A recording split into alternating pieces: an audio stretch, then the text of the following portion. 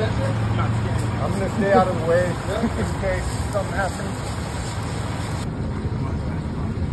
And then, can we cross this?